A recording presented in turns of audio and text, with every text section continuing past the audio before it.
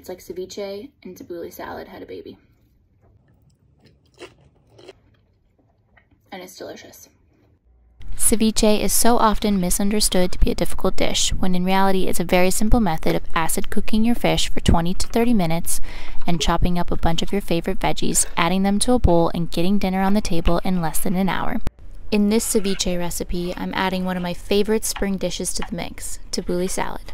It has loads of fresh cucumber, tons of curly parsley, pearled couscous, avocado, of course, all of our ceviche vegetables and our marinated fish. After a good stir, some fresh lemon juice and olive oil, I like to let this salad sit in the fridge for about 10 minutes before serving with tortilla rounds. Let me know if you like this recipe in the comments.